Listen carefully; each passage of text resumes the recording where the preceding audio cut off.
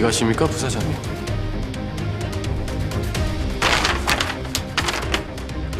뭐 하는 거야? 맞아요.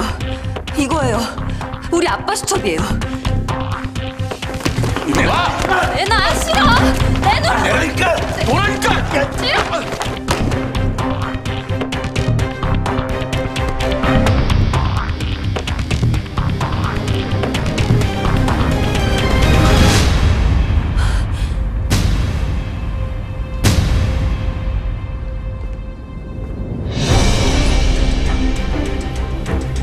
이게 뭔가?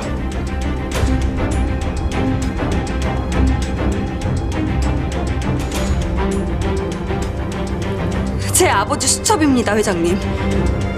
근데 이걸 왜? 그 수첩은 바로 차선우 부서장이 태성간장을 도용했다는 증거입니다.